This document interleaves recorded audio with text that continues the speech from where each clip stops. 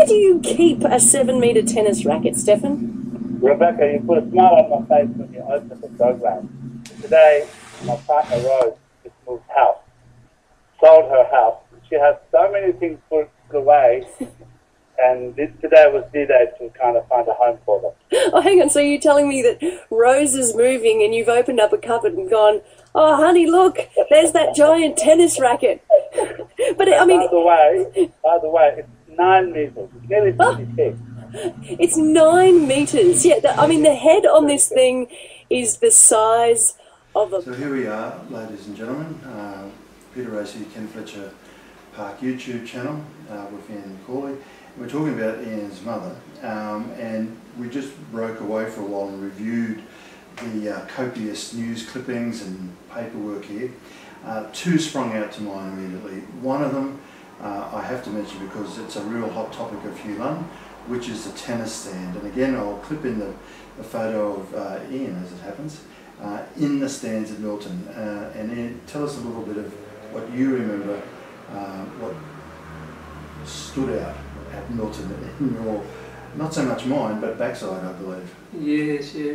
Milton in those days, or as everyone knows in the early days, uh, they had the old wooden stands, and uh, of course uh, they were made out of um, uh, hardwood timber, mm. and they weren't painted, and over the years they, they weathered uh, to the extent that there were quite a few with splinters in them, and of course uh, you had to be extremely careful you know, the way you moved around on those particular stands.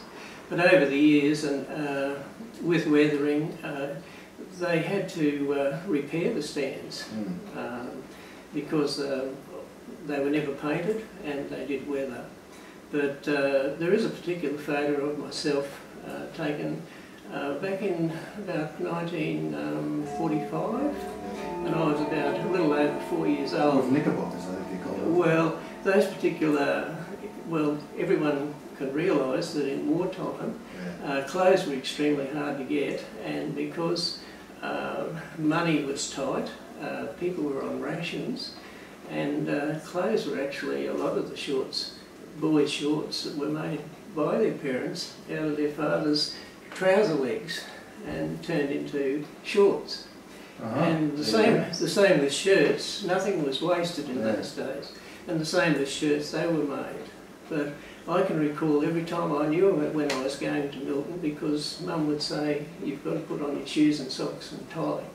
Uh, and that was uh, telling me in those days, I'm off to Milton.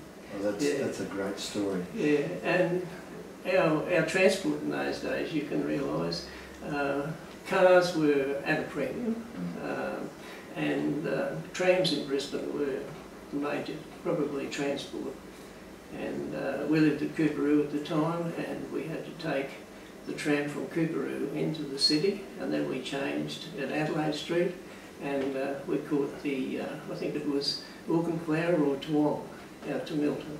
Yeah, so the, people don't understand, but I mean today Queen Street Mall is the centre of, of uh, Brisbane, but in those days, in actual fact, the McDonald store in George Street was yes. the centre of Brisbane uh, and had taken over that mantle basically from um, the, uh, the large department stores down the valley. Uh, and it was all because of the way the trams worked and the way the trams funneled people uh, around the place. So it's a, just an incredible piece of history. Now the next thing that we should talk about, and I'll let you actually read out one of these letters from 4KQ, um, because they were great supporters even in those days and I can't quite see the date, even with my glasses, I couldn't see that date, um, of when that was. Uh, so if you can just read out. Yes, 4KQ, uh, every Friday evening they, they held a, uh, a, tennis, a tennis top, topics segment. Uh, it started about 6pm on, on Friday evenings and in those sessions they, uh, they discussed probably the winners of the, pr the previous weeks and uh, also um, top teams that could be uh, meeting each other the next day. But uh, because of uh, their interest in tennis in those days, uh, for any of those people that were successful or were champions, they, uh, they used to follow up with, with letters. Mm. And I'll read one of these letters here. It's from uh, Mr. R.F. McHugh, 4KQ tennis commentator. And what date was that? And the date of this is the 19th of September 1947. And on it it says, Mrs. I. Macaulay, corner of Nolan and Amelia Streets, Cooperville, Brisbane. Dear Madam, please accept my hearty congratulations upon winning the Ladies Singles Championship, the Ladies Doubles Championship and the Mixed Doubles Championship of the QCLTA. Wishing you continued success. Yours sincerely, uh, Mr. McHugh.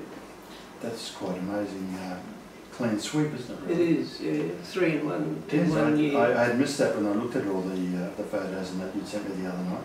Yeah. So uh, that's quite uh, quite a bit of history there. Mm. Uh, and as I said, it just shows 4KQ still going strong today, uh, and still a great supporter of uh, tennis in uh, in Queensland as it happens. Yes. Um, so with that, that brings to close the uh, this particular YouTube and this little piece of uh, uh, series.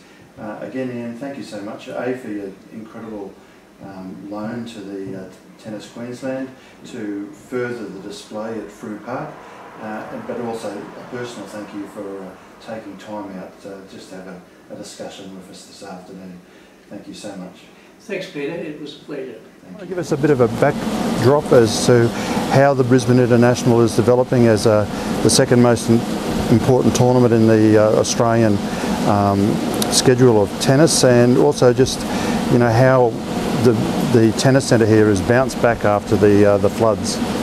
Well, certainly uh, the, the damage was absolutely uh, devastating after the floods, and uh, uh, I guess uh, the, the glowing light now is that uh, in conjunction with the council and uh, allowing us to change uh, the DA, uh, we have a much better facility as a result. We have a much uh, bigger area downstairs. All our player dressing rooms, gymnasium are all absolutely state of the art for the players and that uh, certainly adds to the enjoyment of the players when they're here during the course of the event. The Brisbane International is now only second to the Australian Open in the Australian